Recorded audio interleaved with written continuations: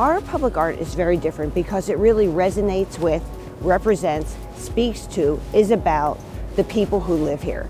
I mean, it is truly the autobiography of the city of Philadelphia. I don't care where you are, what neighborhood you are, anywhere, you're going to see a work of art that will tell you the story of that particular community or a city hero or something that's important and you're going to have neighborhoods and communities that feel very connected to that work of art. So what you, you have in Philadelphia, you have champions for the arts. You have people who cheer the art on. And I know this from other cities who contact us all the time, that is not happening in other places. So we should be so proud. Not only do we have this vast collection of public art, it is public art that is connected to the city and that's so awesome.